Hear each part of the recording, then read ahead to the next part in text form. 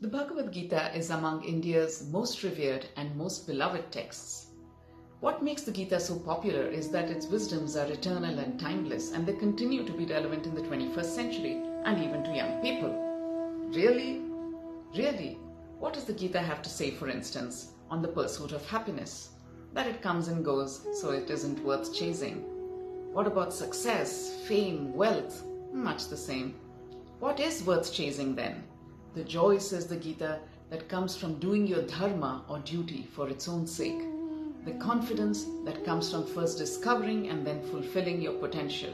And the peace and calm that result when you focus entirely on your work and forget about the outcome. Joy in every moment, mindful action, and peace as the result. In our stressful times, could there be a better recipe for mental, physical, and emotional health?